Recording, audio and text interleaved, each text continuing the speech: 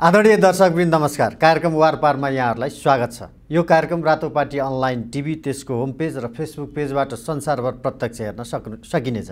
त्यस्तै आफूले चाहेको समयमा युट्युबमा पनि यो कार्यक्रम हेर्न सकिनेछ। आज हामी मूलत दुई तिनवटा विषयमा केन्द्रित रहेर छलफल गर्नेछौँ। एउटा भर्खरै जुन कैलालीको सांसद रेशम चौधरीलाई शपथ खुवाएको विषयमा एउटा कानुनी बहस चलिरहेको छ। त्यस्तै वाइट बडीको विषयमा सरकारले एउटा समिति बनाएपछि त्यो पनि एउटा कानुनी विवादको विषय बनेको छ कि संसदीय सर्वोच्चता विरुद्ध कार्यपालिका हो कि भन्ने बहसहरू चलेको छ। यी लगायतका विषयमा केन्द्रित रहेर त्यस्तै न्यायपालिकाको विषयमा पनि हामी छलफल गर्नेछौँ र यसका लागि आज हामीसँग हुनुहुन्छ अधिवक्ता टिकाराम भट्टराई। स्वागत छ यहाँलाई कार्यक्रममा। धन्यवाद रोहितजी। सर्वप्रथम रेशम चौधरीको शपथको विषयमा। यो शपथ खुवाउनुहुन्थ्यो या हुँदैन थियो? भन्ने बहसमा तपाईँको के छ? यसलाई दुई ढङ्गले हेरौँ रोहितजी। हामी जस्तो कानुनको मान्छेलाई बोलाउँदाखेरि र हामीले आफ्नो कुरा दिँदाखेरि कानुन र संविधान बमोजिमको हामी कुरा गर्छौँ। जुन कुरा जनतालाई सर्वसाधारणलाई यो टेलिभिजन हेरिरहेका हाम्रा दर्शक श्रोतालाई चित्त नबुझ्न पनि सक्छ। त्यो भएको हुनाले मैले दुई तरिकाले भने। राजनीतिक रूपमा कैलालीमा जुन खालको हत्या भयो डेढ वर्षको बालकदेखि बालवाला एसएफसीसम्मको हत्या भएर क्रूर ढङ्गले हत्या भयो ती दृश्यहरू हामी अहिले पनि झल्झली सम्झिरहेका छौँ। र त्यस्तो क्रूर ढङ्गको हत्यामा संलग्न भनेर प्रमुख अभियुक्त बनाइएको रेशम चौधरी। त्यो सम्झिँदाखेरि मान्छेले रेशम चौधरीलाई हेर्ने दृष्टिकोण एउटा हुन्छ। उहाँले सांसद जितेको प्रति मान्छेको एउटा बुझाइ हुन्छ। अनि जब हामी कानुन र संविधान पल्टाउँछौँ कानुन र संविधान पल्टाउँदा अर्को स्थिति हामी देखा पर्छ। ठिक छ संविधानले के भन्छ त यस्तो मान्छे अब संविधानले र कानुनले भन्ने के हो भने तपाईँको निर्वाचन आयोगले कुनै पनि निर्वाचित प्रतिनिधि सभाको सदस्यलाई ऊ निर्वाचित भएको प्रमाणपत्र दिन्छ निर्वाचन आयोगले भने सभामुखले त्यस्तो मान्छेलाई म शपथ ग्रहण गराउँदिनँ भन्नलाई सभामुखलाई कानुन चाहिन्छ। यो कानुन बमोजिम म रेशम चौधरीलाई शपथ ग्रहण गराउँदिनँ भन्नलाई। त्यस्तो कुनै पनि प्रचलित कानुन नभएको कारणले नै सभामुखले यो रेशम चौधरीलाई शपथ गराउनु भएको हो। त्यसैले ट्याक्कै भन्दाखेरि अप्रिय अरुचिकर आलोचनात्मक तर कानुनको दृष्टिमा रोक्न नमिल्ने खालको यो निर्णय हो भन्ने मलाई लाग्छ। भनेको मतलब नेपालको संविधान दुई हजार बहत्तर त्यसले रोक्दैन। प्रतिनिधि सभा नियमावलीले पनि यसलाई रोक्दैन। यो दुइटै नियमावली सङ्गत पनि छ कानुन संवैधानिक पनि हो मैले अघि भनिहालेँ कानुन र नियमावलीले रोक्दैन शपथ गराउनलाई। तर यसको फेरि अर्को पाटो के छ भने सरकारले किन हतार गर्यो होला? भन्दा संविधानले के भन्छ भने कुनै पनि प्रतिनिधि सभाको सङ्घीय संसदको सदस्यले सङ्घीय संसदको बैठक वा त्यसको समितिको कुनै बैठकमा भाग लिनु अघि सभामुख समक्ष शपथ ग्रहण गर्नुपर्छ भन्छ। त्यसको अर्थ के हो भने शपथ ग्रहण गरेको मान्छे चाहिँ बैठकमा भाग लिन पाओस् है भन्न लाग्यो। अब त्यही कानुनले के भन्छ भने फौजदारी मुद्दा लागेर थुनामा बसेको अवधिभर उसले प्राप्त गर्ने सुविधा उन्मुक्ति र अधिकार तिनवटा अधिक शब्द प्रयोग गरेको छ। सुविधा उन्मुक्ति र अधिकार। त्यो तिनवटै कुरा उसले पाउँदैन भनेपछि रेशम चौधरीले सांसदको रूपमा तलब सुविधा पनि पाउनुहुन्न उन्मुक्ति पनि पाउनुहुन्न अधिकार पनि पाउनुहुन्न भने त्यो शपथ किन गराइयो होला? त्यसको औचित्य के होला? त्यसको जवाब चाहिँ हामीले पनि भेटेका छैन।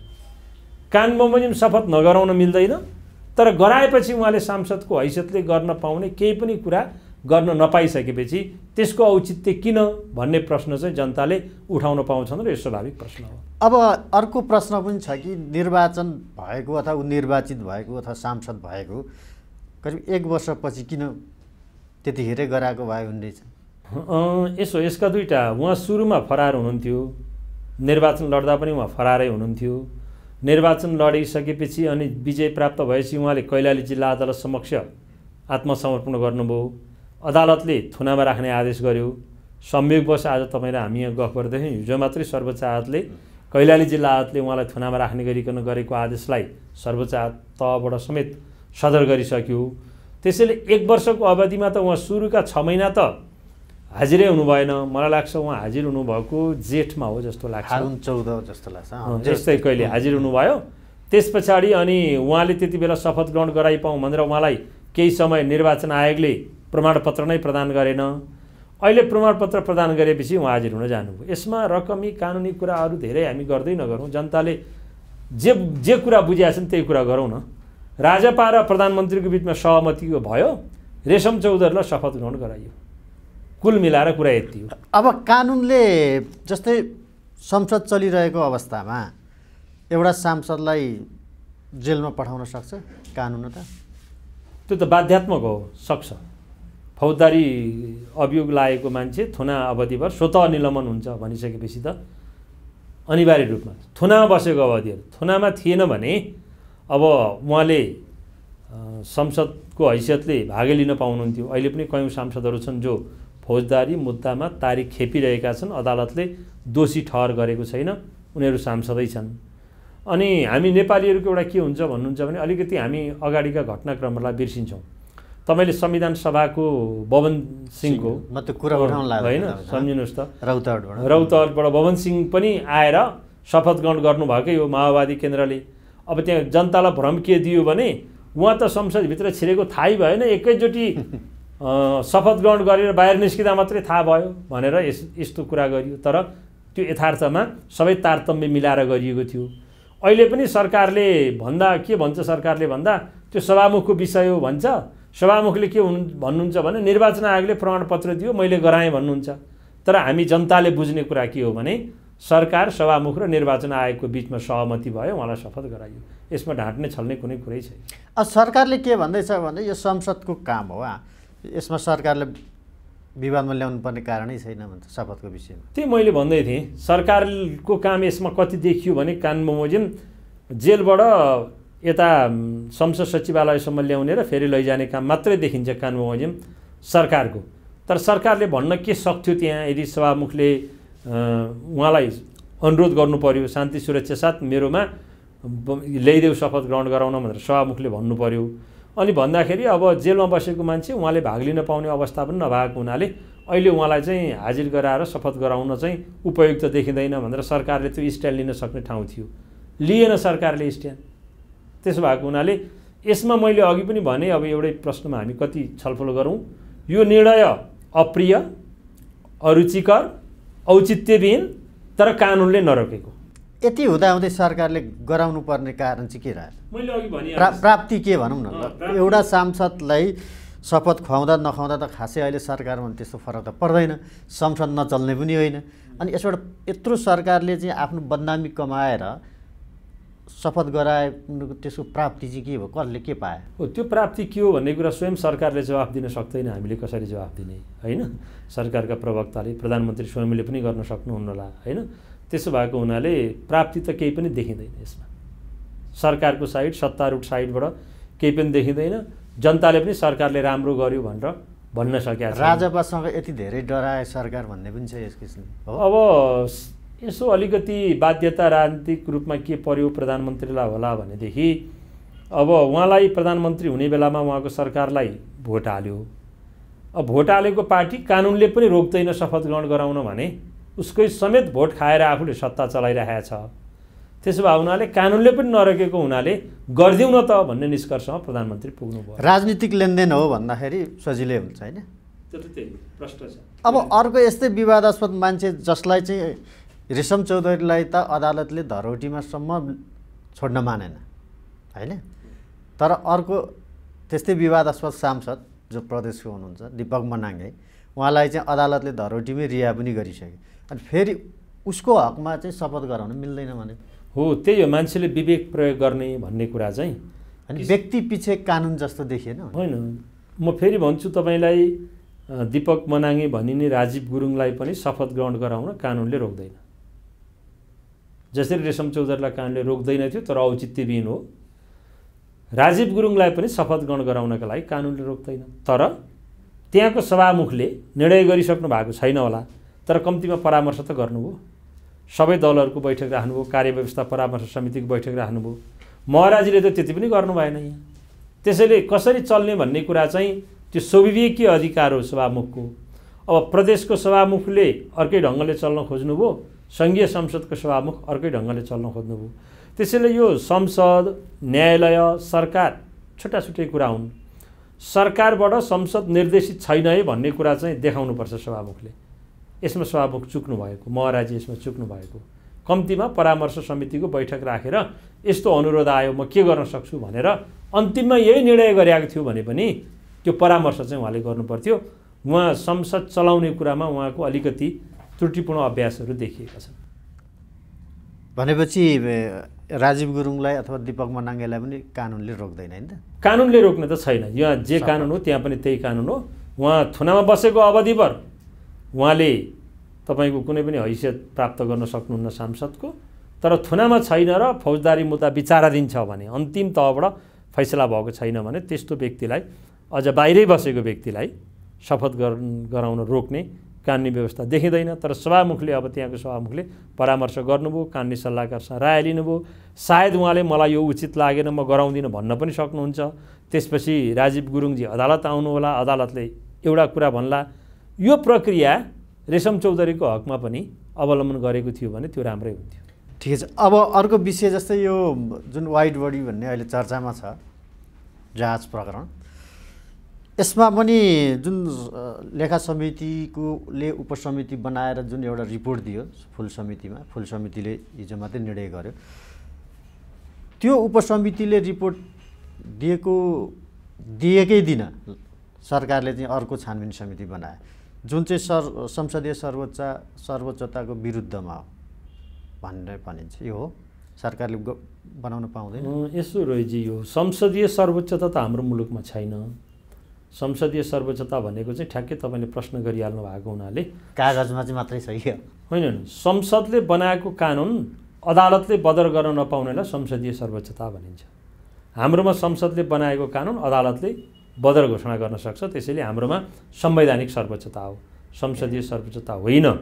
तपाईँले ठ्याक्कै भन्न खोजेको चाहिँ अब टर्मिनोलोजी जे प्रयोग गरे पनि भन्न खोजेको के हो भने संसदको निर्णयलाई निष्क्रिय बनाउने गरी कार्यपालिकाले निर्णय गरेर अर्को आयोग बनाउन पाउँछ कि पाउँदैन भन्ने आम जनताको प्रश्न तपाईँले मलाई राख्नुभयो एउटा कानुनको विद्यार्थीको हैसियतले। यसमा कस्तो देखिन्छ भन्नुहुन्छ भने अहिले सरकारले भूतपूर्व न्यायाधीश गोविन्द पराजुलीको अध्यक्षतामा जाँचबुझ आयोग ऐन दुई हजार छब्बिस बमोजिम एउटा आयोग बनाएको घोषणा गरेको छ।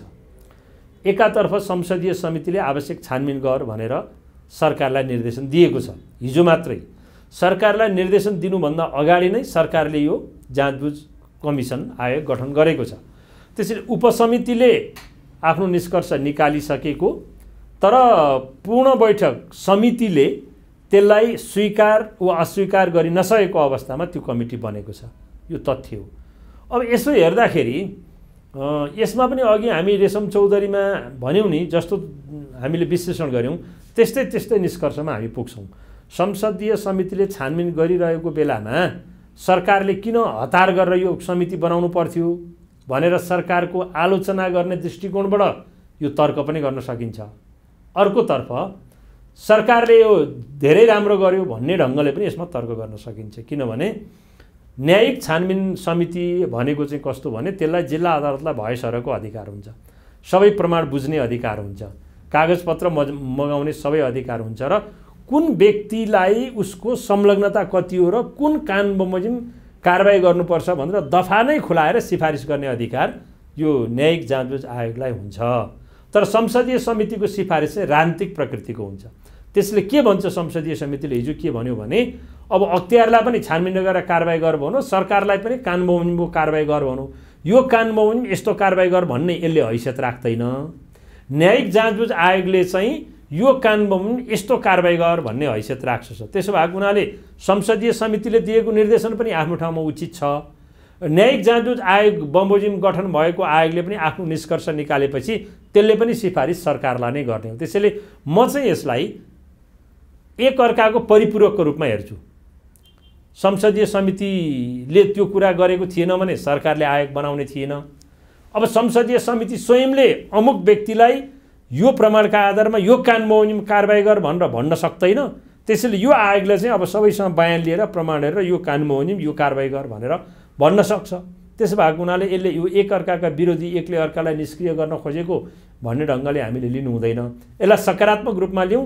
मूल कुरा भ्रष्टाचारमा यदि कोही पदाधिकारी संलग्न छ भने त्यो संलग्नले का कारवाहीको भागी बन्नुपर्छ कि पर्दैन भन्ने चाहिँ हामी आम जनताको सरोकारको विषय हो। उपसमितिले दिएको रिपोर्टमा अब त्यो तथ्यहरू त भोलि आउला। सरकारलाई नै एक खाले दोषी देखाएको छ उसले भनेको। सरकारका केही मन्त्री केही सचिवहरू पदाधिकारीहरूलाई।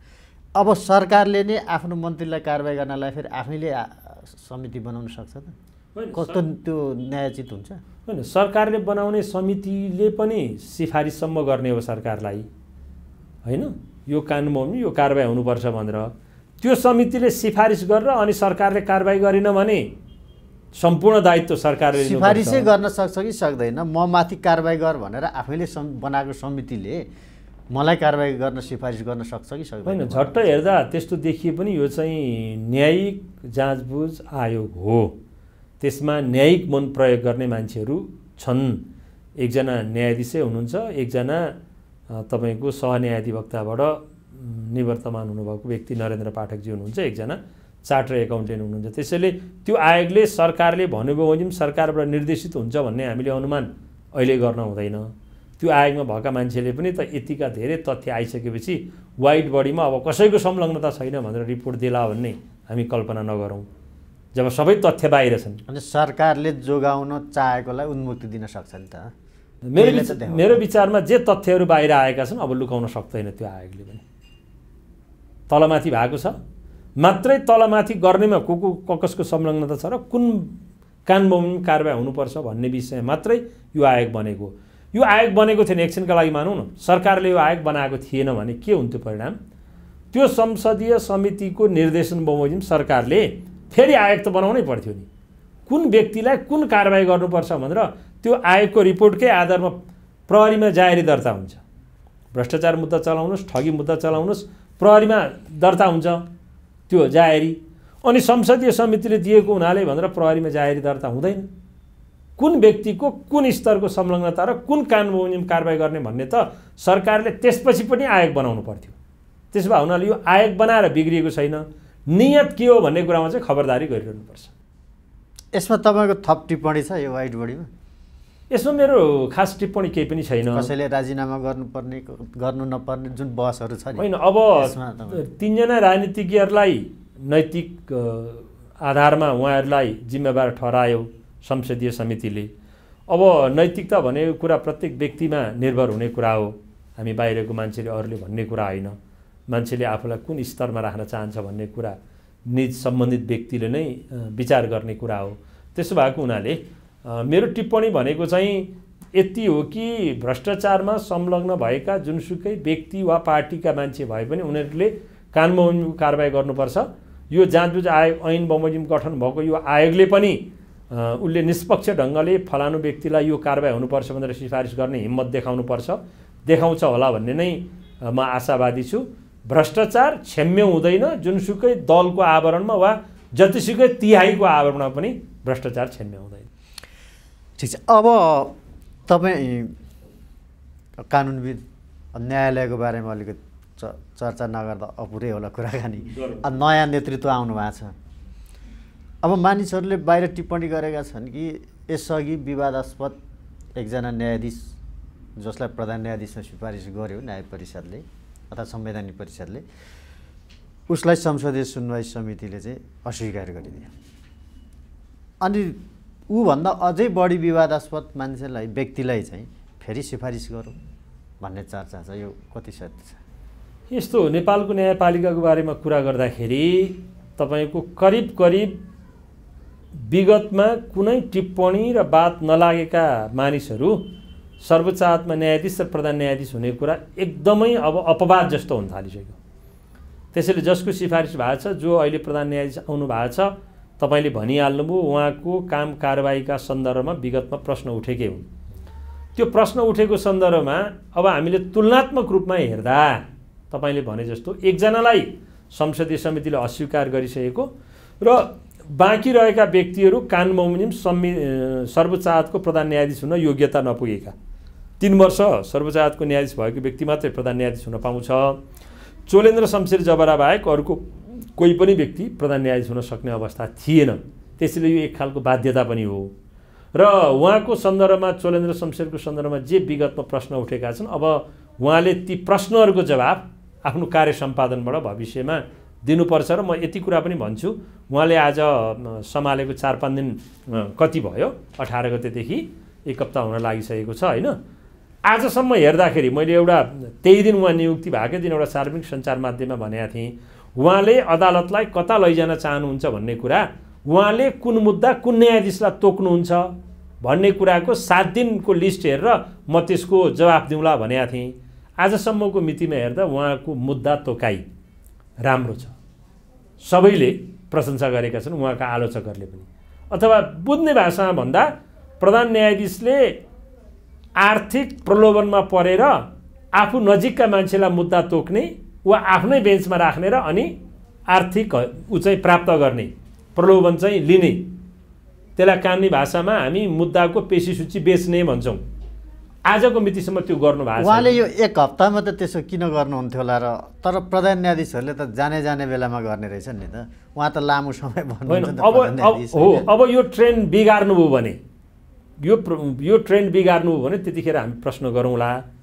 आजसम्मको उहाँले जे गर्नुभएको छ अरू आकस्मिक रूपमा अदालत निरीक्षणका कुरा पनि गर्नुभएको छ। सातै प्रदेशका मुख्य न्यायाधीशलाई बोलाएर हिजो र आज उहाँले निर्देशन पनि दिनुभएको छ अनि अरू कतिपय प्रशासनिक सुधारका कामहरू पनि गर्नुभएको छ। त्यसैले शङ्काको सुविधा अहिले हामीले उहाँलाई दिनुपर्छ। सुरुमै उहाँले नराम्रो गर्नुहुन्छ भन्ने कुरा हामी नगरौँ। मैले अघि एक ठाउँमा भन्या पनि थिएँ म त्यहाँ दोहोऱ्याउन चाहन्छु। कोही मान्छेले पचास साठी वर्षसम्म चाहिँ एकदमै मासु भात खायो माछा खायो कुखुरा खायो। म एकाउन्न लागेपछि वा एकसठी लागेपछि चाहिँ म भेज मात्रै खान्छु भन्न त पाउँछ नि होइन? विश्वास गरौँ न। ओके। तर उहाँको उहाँले चाहिँ अब चर्चित न्यायाधीश हुनुहुन्छ दिपक राज जोशी।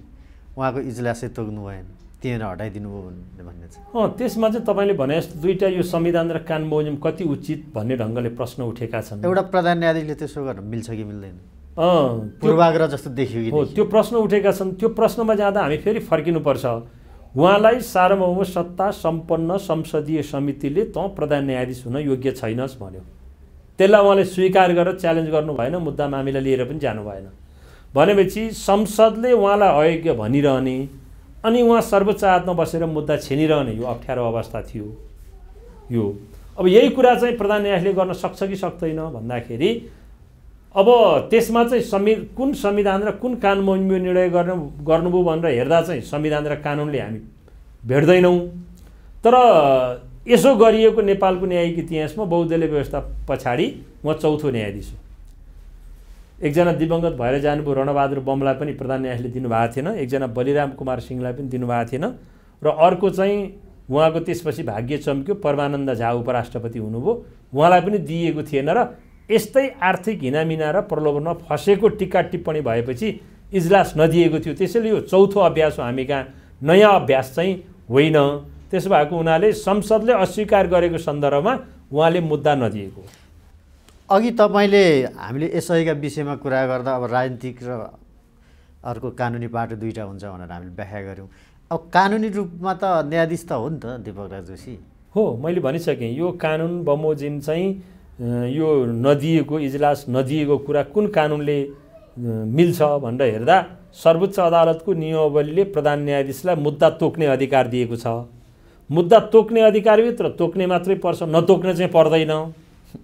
तर उहाँको सम्बन्धमा जुन टिक्का टिप्पणी उठ्यो उहाँले सार्वजनिक रूपमा भाषणमै के भन्नुभएको छ सञ्चार माध्यममा भने यो संस्थाको गरिमा बचाउनको लागि र न्यायपालिकाको स्वतन्त्रताको लागि म उहाँलाई दिन सक्दिनँ भन्नुभएको छ। उहाँ आफैले यो कानुन र संविधान बमोजिम भन्नुभएको छैन। त्यसैले एउटा बोल्ड डिसिजन हो यो यो चाहिँ। र अलि राजनीतिक प्रकृतिको हो। यसमा कानुनी र संवैधानिक रूपमा मात्र यसलाई हेर्न उहाँले चाहनु भएन। अब सबै उहाँका कतिपय विगतका आदेशहरू सुशीला कार्कीलाई पुनर्बहाली गरे पनि उहाँले नै हो। बडा भावनात्मक आदेश उहाँले लेख्नुभयो। गोपाल पराजुलीको उमेर पुगिसकेर म तँसँग बस्दिनँ भनेर इजलासबाटै आदेश गर्नुभयो। यो उहाँको। चाहिँ बहिष्कार पनि गर्नु उहाँले। बहिष्कार भन्ने शब्द त त्यो उचित होइन पूर्वाग्रहपूर्ण हो त्यो है? उहाँले म स्वयं छु त्यो मुद्दामा। उहाँले इजलासमै आएर यो कारणले म चाहिँ अब उहाँसँग बस्दिनँ भनेर भनेको र बेन्चमै बसेर उहाँले आदेश गर्नुभएको हो। त्यसलाई बहिष्कार त नबनौँ। त्यसैले मैले जोड्न खोजेको कुरा अलि साहसिक खालको निर्णय गर्ने विगतको परम्परालाई यो दीपक राज जोशीलाई बेन्च नदिनेमा पनि उहाँले जोड्नु हो। यस यो यो प्रधान न्यायाधीशको यो निर्णय चाहिँ सकारात्मक हो यसको मतलब? जनताको नजरमा न्यायपालिकाको एकदमै आस्था गिरेको सन्दर्भमा र दीपक राज जोशीका त्यस पछाडिका आदेशहरू पनि धेरै विवादास्पद। एनसेल कर छरी प्रकरणदेखि लिएर अजय सुमारीको पैसा फिर्ता लिने प्रकरणदेखि लिएर अरू कतिपय आदेशहरू सार्वजनिक सञ्चार माध्यममा टिका टिप्पणी योग्य भएको हुनाले सायद उहाँले ती सबै आदेशहरूको छानबिन गर्छु म र त्यो छानबिन को रिजल्ट नआउन्जेल म उहाँलाई दिन्न भन्ने निष्कर्ष उहाँ पुग्नु भएको होला। यदि त्यो भने यसलाई नकारात्मक रूपमा हामी नलिउँ भन्छु। तर एउटा प्रधान न्यायाधीशले जो न्यायपालिकाको नेतृ नेतृत्व गर्छ उसले चाहिँ कुनै इमोसनल कुरामा कुनै घटनाक्रमलाई आधार मान्छ कि कानुन? कानुन र संविधान टेक्नै पर्छ। नटेकिकन हुँदैन। रुल अफ ल संवैधानिक सर्वोच्चता भएको मुलुकमा त्यो पनि प्रधान न्यायाधीशबाट चालिने कदम। तर उहाँको एउटै स्टेटमेन्ट के भने न्यायपालिकाको साख जोगाउन र स्वतन्त्रता बचाउनको लागि मैले यो निर्णय लिएँ भनेको हुनाले उहाँको व्यक्तिगत हितका निमित्त यो गरिएको होइन रहेछ। उहाँले यत्तिकै चाहिँ अब राख्नु हुँदैन। म तपाईँकै यो अनलाइन टेलिभिजन मार्फत अनुरोध पनि गर्न चाहन्छु उहाँ कहाँ पुगोस् यो कुरा। यदि दीपक राज जोशीका आदेशहरू विवादास्पद छन् भने त्यसमा छानबिन गराइदिनुहोस् र त्यो छानबिनको अवधिभर उहाँले नदिन सक्नुहुन्छ। बिना कारण चाहिँ गर्ने कुरा चाहिँ औचित्यपूर्ण हुँदैन। हस् कार्यक्रममा आइदिनु भयो यहाँलाई धेरै धेरै धन्यवाद। धन्यवाद। आज हामीले छलफल गऱ्यौँ खास गरेर रेशम चौधरी जो सांसद हुनुहुन्छ उहाँको शपथको विषयलाई लिएर त्यस्तै वाइट बडीको विषय र न्यायपालिकामा नयाँ नेतृत्व कसरी अगाडि बढ्ला भन्ने विषयमा केन्द्रित रहेर र यसका लागि आज हामीसँग हुनुहुन्थ्यो अधिवक्ता टिकाराम भट्टराई। कार्यक्रमको निर्धारित समय सकिएको छ। बिदा दिनुहोस्। नमस्ते।